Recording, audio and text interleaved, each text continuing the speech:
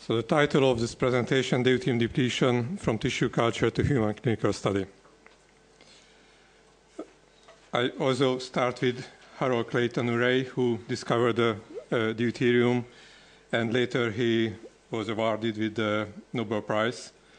Uh, so it was really almost exactly 80, 81 years ago.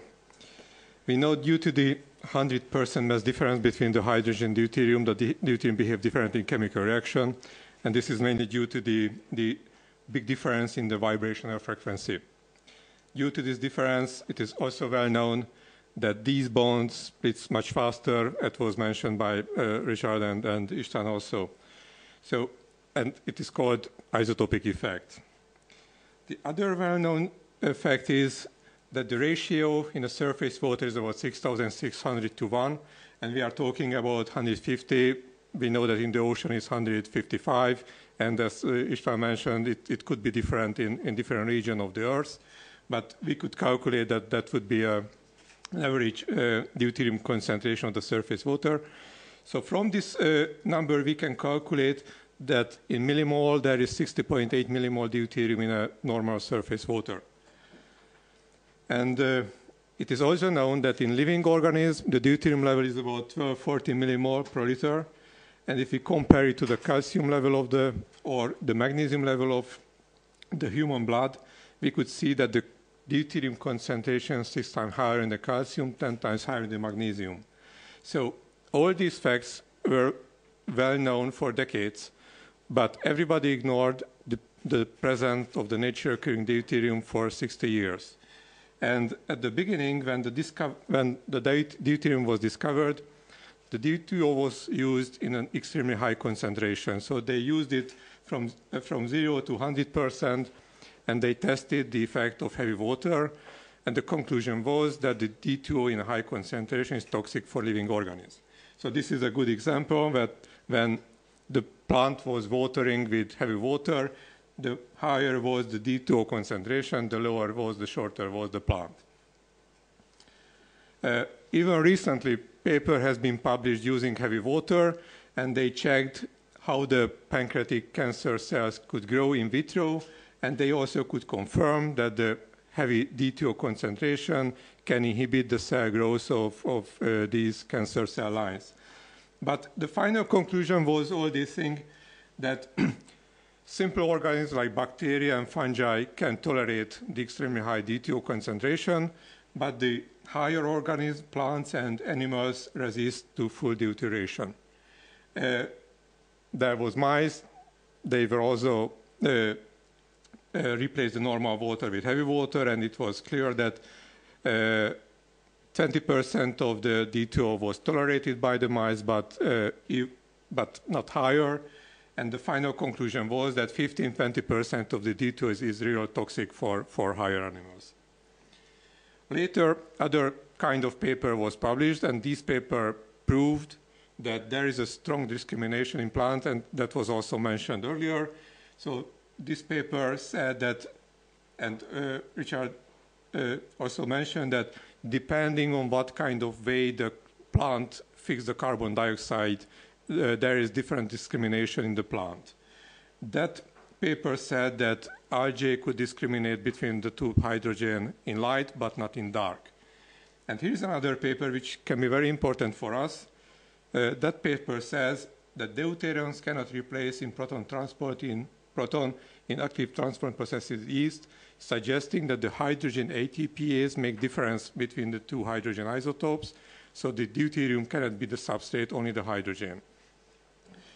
So these were also the papers about the deuterium, and it helps to, to, to know more about the deuterium, the real nature.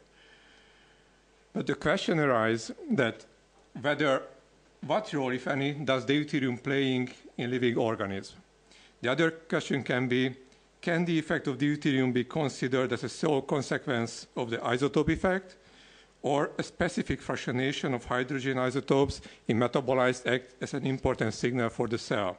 Or we can ask, does the changing DH ratio regulate the cell processes, or in the signal transduction pathway or proliferation of metabolism? So to, to get the answer for this question, we have one way, if we prepare deuterium depleted water and causing deuterium depletion and to check what kind of uh, effect can be of this deuterium depletion. So the, in the very first experiment, and the very, one of the simplest experiment to see how the cells could grow in vitro if we use deuterium depleted medium. And that was the first uh, uh, results we published in FEBS Letters. And this is the water content. The medium contains 150 ppm. So this is a normal deuterium level. And we found when it was lower, 25 or 30 ppm, that inhibited the cell growth in vitro. And it was also important when we slightly increased the D2 concentration, that stimulated the cell growth. When we go even further, that inhibited the cell growth. So close to the natural level, when we reduce the D concentration, that slightly inhibited cell growth, but increasing slightly stimulated cell growth.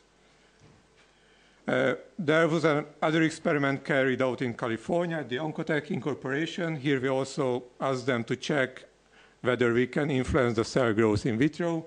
And the answer was that prostate, breast, and melanoma cell line were uh, also inhibited, reducing the D concentration. It was also clear that the sensitivity was different of the different cell lines. So the melanoma could adapt very rapidly to the lower D concentration. Meantime, the prostate and breast cancer uh, was inhibited for 24 and 48 hours. Uh, we also asked another question. In the former experiment, we kept the cells on the same D concentration. In this experiment, we decided to reduce the D concentration step by step, so 150, 60, 55, 51, 46. And in this experiment, the medium was replaced twice per one day, three for three times, uh, five times per two days, or five times for per uh, three days.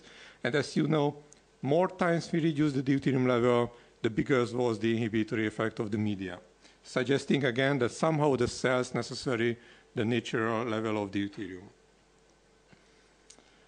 Uh, we carried out several experiments, and I tried to show a couple of examples. So in one experiment, we know that there are kinases, phosphatases involved in the cell cycle regulation, and we checked whether we can modify the expression of these genes. And this experiment, I also lost a couple of colors. We could find that these kinase activity was uh, in, uh, and the uh, gene expression was increased in deuterium depleted water. Meantime, these genes expression was suppressed in deuterium depleted water. These are kinases or other enzymes having key role in electron transport.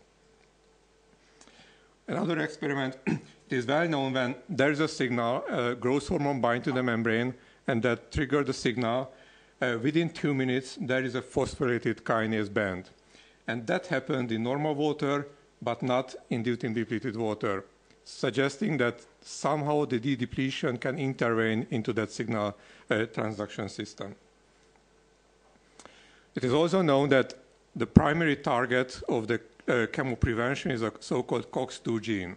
The COX-2 gene responsible for the cyclooxygenase synthesis, and that enzyme synthesizes the prostaglandin. In most of the cancer cells, the COX-2 gene is overexpressed, and the prostaglandin has a key role that, that these cells can multiply so fast. So we checked whether we can intervene with that COX-2 gene. First, we check the cell growth of the HT29. This is a colon cell line. Uh, this is a 150 ppm, 80 ppm, 20 ppm. So the lower was the D concentration again, it was a clear inhibitory effect. 200 ppm, we slightly could stimulate the cell growth. At the same time, we checked the COX-2 gene expression, and there was a clear correlation suggesting that the de-depletion could inhibit and could reduce the COX-2 gene expression. And at the same time, the intracellular prostaglandin level also was reduced in deuterium-depleted medium. But the question is whether it has any role, direct role in this, uh, that the de-depletion, de-depleted water can uh, inhibit the cell growth.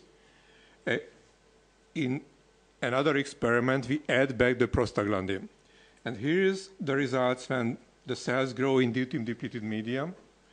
but when we add back the prostaglandin 1, 10, 100 micromole, nanomole per liter, we could diminish the inhibitory effect of deuterium depleted water, suggesting that could be a cause-effect relationship. The deuterium depleted water inhibit, for example, the COX-2 gene expression, and that cause a reduced prostaglandin level. But when we add back the prostaglandin, we can compensate the inhibitory effect of the DDW. So the question is, how can we explain these results?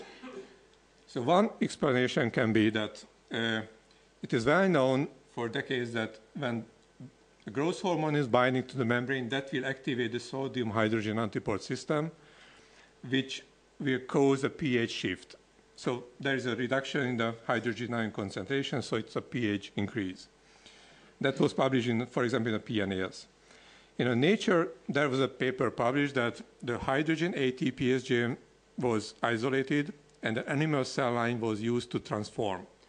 And they could prove that the ATPase were sitting in the membrane of the cell, throwing out the hydrogen, and they could prove the pH shift. But the real surprise was that this cell line caused tumor in nude mice and showed tumorous phenotype in vitro. So no one could explain how is it possible that this ATPase gene behaves as an oncogene. So we say when there is a signal binding to the membrane and activate the hydrogen transport system, that will to prefer to eliminate the hydrogen, which will result in changing, changes in the DH ratio. And we suggest that the changing DH ratio would be a key signal for the cell, and in normal case, the cell will divide. When we are using deuterium depleted water, even the hydrogen transport system is activated, the cells are not able, or it takes much longer time for cancer cells, to lift up the DH ratio to the threshold.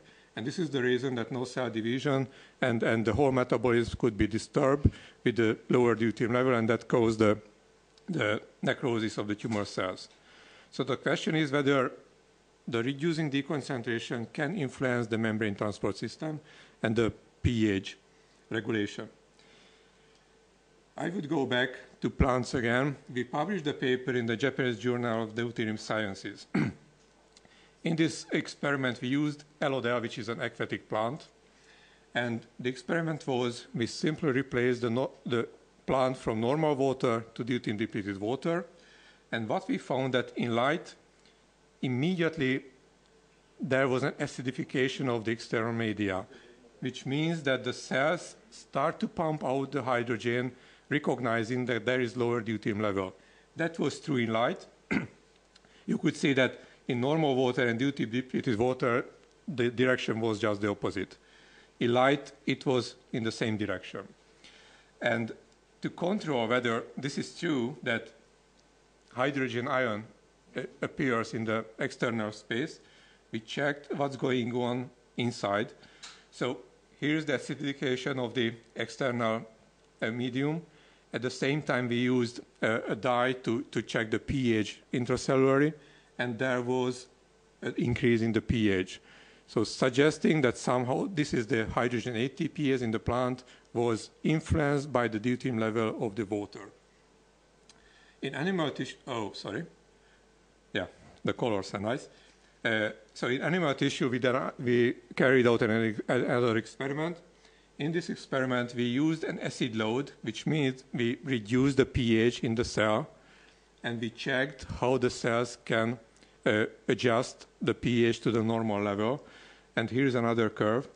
And the point was that this process was different in normal water comparing to the uh, deuterium depleted water. In that case, we can say that the sodium hydrogen antiport, the amiloride sensitive sodium hydrogen antiport, take part in that process, and somehow again, the deuterium depleted water influence that membrane process. So this is what we say today that that could be the, the key fractionation mechanism that the membrane transport will prefer to eliminate the hydrogen, and that causes a shift in the pH, in, in, in the DH ratio. The, question, the answer for the question is, uh, so we suggest that the nature occurring deuterium has a key role in the cell cycle regulation. We suggest that the changing DH ratio can be a signal to the induction of numerous cell processes. And we suggest that the changing DH ratio simultaneously can regulate the expression of genes and, and uh, certain enzyme activity. We also say that there should be a submolecular regulatory system within the cell, and that would be a new target to, to develop, for example, anti-cancer drug. That was the first part of my presentation. The next part, I, I, would like to show you what is the consequence of deuterium depletion when we use animals or, or living organisms.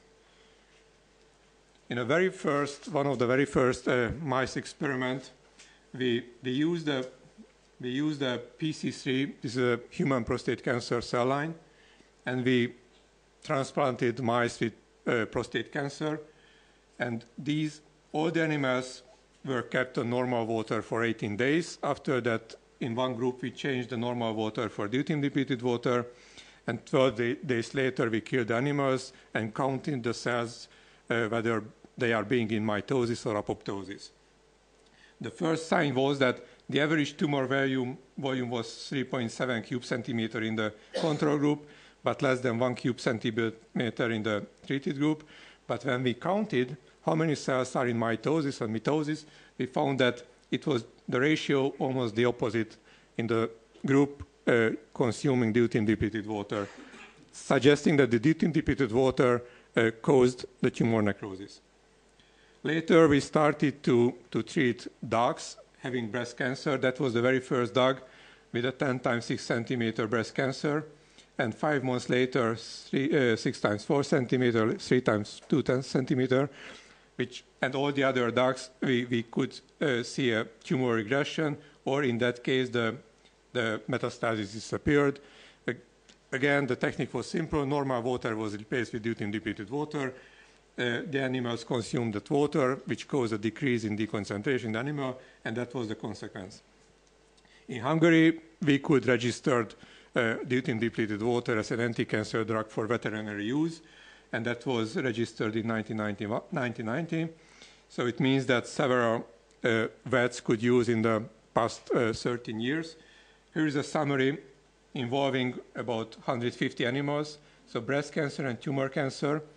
Uh, if we see that part of this table, we could see that roughly 50% of the animals we could cure with deuterium depleted water, either, either alone with deuterium depleted water or with combination with, with surgery. Of course, this is only 50%. The question is how can we even increase the efficacy of deuterium depletion? So we carried out experiment to use uh, injection formulation. This is 25 ppm physiological salt solution. And we used it to inject uh, the tumor and the surrounding area of the tumor. Here's a couple of examples. this uh, dog has a huge tumor on the neck with hemangiosarcoma. Uh, it received the chemotherapy and radiotherapy, and that was the final results. So they wanted to kill the animal. After the treatment with deuterium depletion, here is four weeks later, 10 weeks later, and 14 weeks later, and after years, these animals were alive. The other example, this is a breast cancer. It's, it's, you could see it's growing down and infiltrate the, the deeper part of the body. Uh, that was five weeks later. After the injection, the tumor was rejected from the animal, and it was very easy to remove the rest of the tumor. And here's another example. That was a rectal tumor. There was a complete remission, but at certain time of the treatment, we cut out a small piece of tissue and we checked it. And we could say at the beginning it was adenocarcinoma, which means cancer. Uh, four weeks later, it was said adenoma. So from malignus, it moves to benignus. And eight weeks later, we could find only heavy lymphoid infiltration, so no tumor cells were, but the immune system worked to, to eliminate all the cancer cells. Of course, the primary aim is to, to have a human anti-cancer drug. So that is our primary aim, and this is what we are never going to give up. Uh, we could run one phase two double-blind clinical trial. Uh, it was run with, with also with prostate cancer patient. In the trial, we evaluated 44 patients. Uh, 22 just by chance belong to the treated group, 22 to the control group. everybody received the conventional therapy, and the trial lasted for four months. And those who were lucky consumed water with 85 ppm. Those who were belongs to the placebo group, they consumed uh, normal water. At the end of the trial, we found that when we add the, the size of the tumor regression, we found that 160 cube centimeter decrease was in the treated arm, but only 54 in the placebo arm. And that was the reason that the urination system uh, uh, problems disappeared in this group. At the end of the trial, we could conclude that in seven patients we could improve, we could get improvement, but only one in the uh, placebo group. 11 showed no, 11 and 30 showed no uh, change, and there was progression in four cases in the treated group, but eight in the control group. So we could also say that significantly more people showed improvement during the trial. And I mentioned it lasted only for four months. Uh, one year later, we checked the survival rate, and we found that two people died in the treated group, but nine in the control group. Again, significantly higher was the death rate in the placebo group.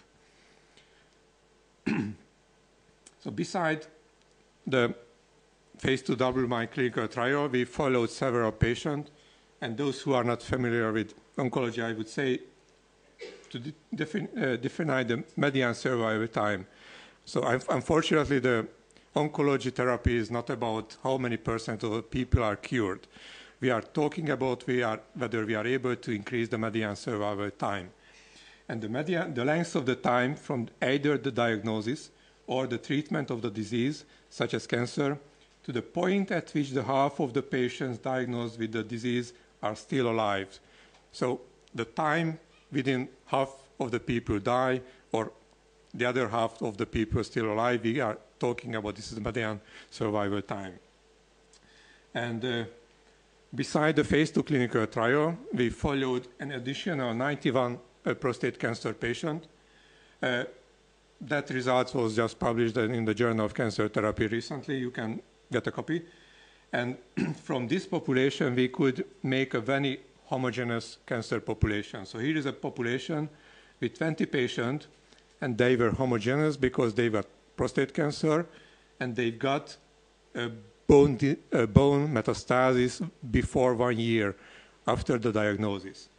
And when we checked the median survival time, it was 64.8 months and the historical control is 15, 20 months. So it means that those prostate cancer patients in that stage, we could get a threefold increase in the median survival time. If we see these 12 patients, they have prostate cancer and they have uh, bone metastasis, but it's appeared one year later, later than the diagnosis was.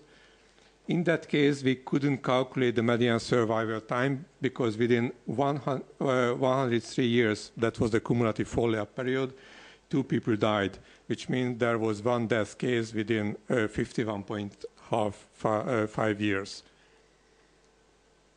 So beside this 91 prostate cancer patient, we followed 1,450 other cancer patients uh, the cumulative follow-up period was over 5,000 years. These patients consumed deuterium-depleted water almost 2,000 years.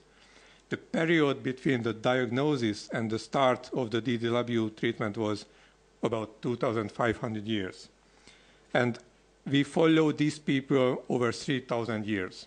So we have a huge database that we collected in the last uh, 20 years. Uh, I, I mentioned that we collected those patients who consumed the DDW at least for 91 days. And the reason is when we checked the survival rate, one year survival rate of the patient who consumed lower than three months or higher than longer than three months, we could find that those who consumed less than 90 days, only 11% live longer than one day. So it means these people didn't have time to intervene because they are mostly in the absolute late stage.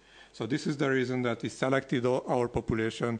We are estimating and valuing uh, the results for those people who had consumed longer than 90, 91 days. If we check the distribution uh, percent distribution of the major type of cancer in the follow-up population, you could see the four leading cancer is breast, colon, rectum tumor, lung cancer, and prostate cancer, and these are involved here. 50% of the people who die in cancer belongs to these four uh, uh, cancer type. And these distribution roughly covering the same uh, what we can see in worldwide or in Hungary. When we check the median survival time of these uh, 1,450 uh, people, we could see that it is 9.5 months. I could say this is roughly double what, the what we can see worldwide. When we check the median survival time, depending on how long the people could consume deuterium depleted water, you could see three, between three to six months, six to nine, the median survival, and we started from the treatment of the DDW consumption. So that was the months which increased 10, 27, 70, 81, and 126 months, uh, which shows a quite clear correlation that the longer they could they consumed, the longer they could live. We could make two big categories uh, with this 1,450 uh, patients because we find that 1,320 started the treatment with DDW that they have cancer, and 130 started the treatment of the, uh, of the consumption of DDW without cancer. So they were diagnosed with cancer, but when they started the consumption of DW, they were cancer-free. And this is very important. The median time which lasted between the diagnosis and the start of DDW, it was 190 days in the upper group, but 100 about in the, in the other group. And here you see the average time. It means that those who started in remission, they started within one year after the diagnosis, those who started in, with a tumor, they started uh, about two years after the diagnosis. If you see the details of the 1, uh, 1,320 patients, here you can see the, the big numbers.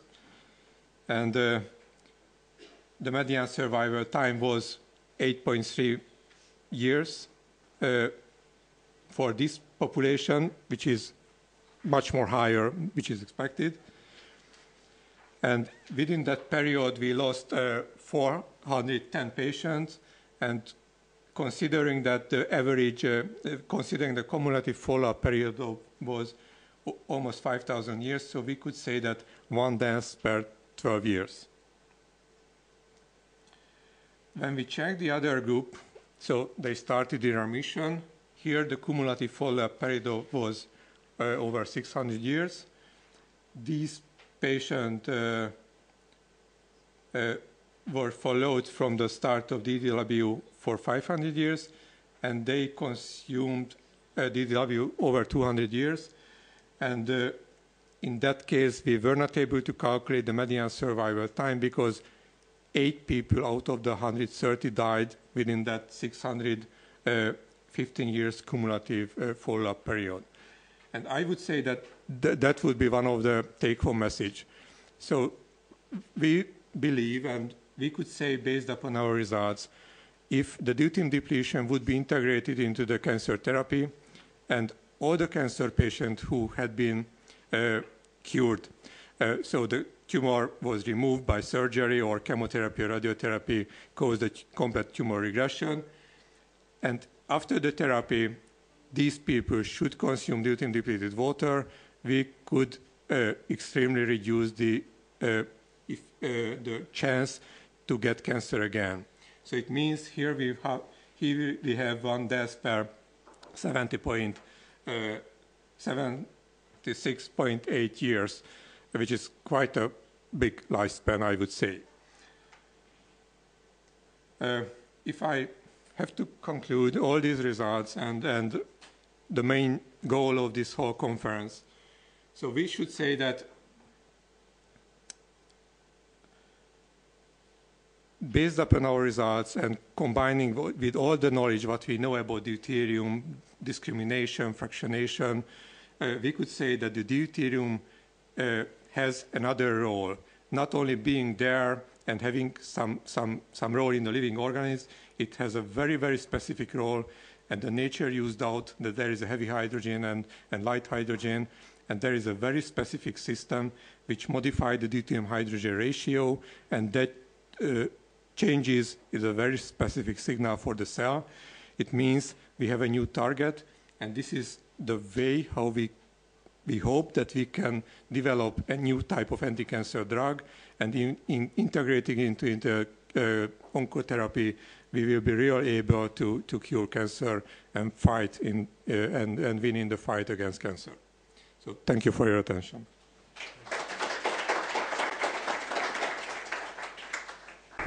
Thank you, Gabor. Please, questions, comments, please. It, it, it's a very interesting problem, isn't it? Um, have you or has anybody else yet looked at turnover numbers of some of the key enzymes? One thinks perhaps of the kinases uh, in deuterium depleted water. So, in vitro studies on the enzyme activities, whether this is actually having an influence on their rate of reaction. Mm-hmm. Yeah, if, if, if I remember 20 years ago, we, we tested a couple of enzymes. We didn't see a real big difference. And we don't know really what kind of enzyme we should see. Uh, but tomorrow, Boros uh, uh, will, will present some results, and from that results, we can figure out what's going on on a metabolic system. Uh, do you have anything? Yeah, well, I was just, uh, uh, another another comment. Um, water structure. And there's been a lot of debate about water structure, and there were the famous publications in Nature, what about 15 years ago, I suppose, about deleted, de depleted water retaining structure in a way that it remembered the existence of molecules, the structures of molecules that weren't actually there. Um, nevertheless, I think that was a, rubbish. But um, the, the, the, water does is structured, and of course, deuterium hydrogen bonding is very important in water structure. So when you replace a hydrogen with a deuterium or remove the amount of deuterium, you, you might change the bulk water structure. has anybody had any thoughts and, and experimental approaches to, to that bulk water problem? Yeah, uh, we haven't carried out any experiment like uh, which uh, uh, would show that there is some, some differences using uh, in, in the structure. Of course, if you use the D concentration, the, the structure should be different, but we don't know how, how influence that, that whole process. Laszlo.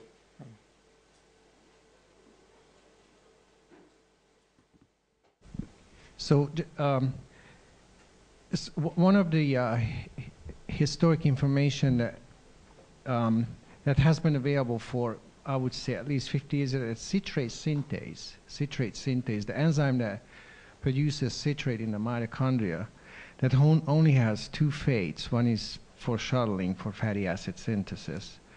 Another role is to turn over in the mitochondrium, produce energy, is actually regulated by deuterium availability. And there is actually a significant change in the free energy that is initiating the, the process. And using our technology, this is what uh, Gab, uh, Dr. Somlyai was referring to, that actually we can measure this flux in patients now, or tumor cells um, in vitro.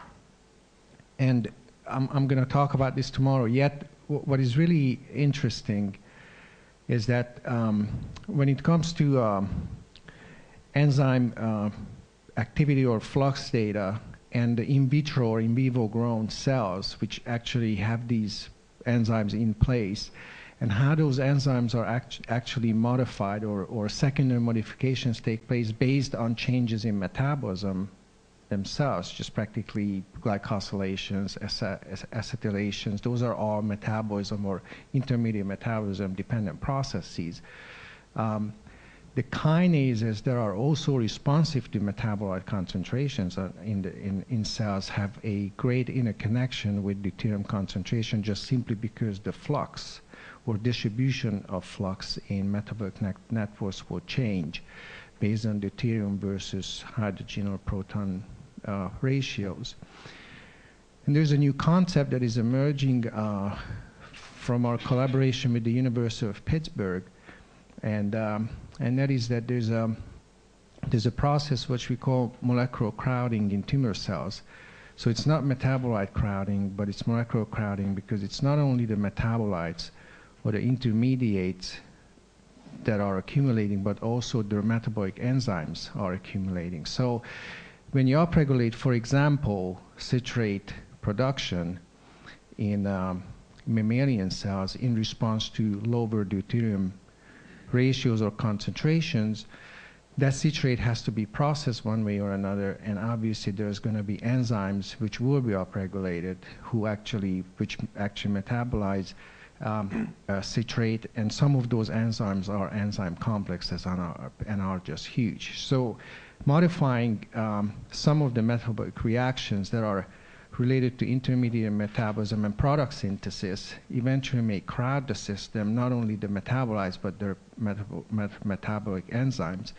And because of the limitations of how many fatty acid synthase complexes, for example, the endoplasmic reticulum can hold, you can actually kind of choke up tumor cells once they already have an upregulated flux in along those metabolic reactions. And those questions are really the interesting ones, just to find out or get closer to how deuterium depletion may affect a whole range of tumor cells. And I, I think tomorrow we're going to have some, Yeah. at, at least We are- we are looking for to that. show, to show the response of Okay. tumor cells, to, just to answer some of these questions. Okay, thank you, thank you. Any other questions or comments, please? If no more, then let's just thank the speakers of these plenary sections for their excellent contributions. And Gabor will proceed to say, to tell us what to do. Yeah. Yeah, uh, so the next event will start uh, with, uh, an hour later, at half past six. Uh, there will be a concert for you, which will last about another hour. And after that, there, you are welcome for, for the dinner. So please come and follow us.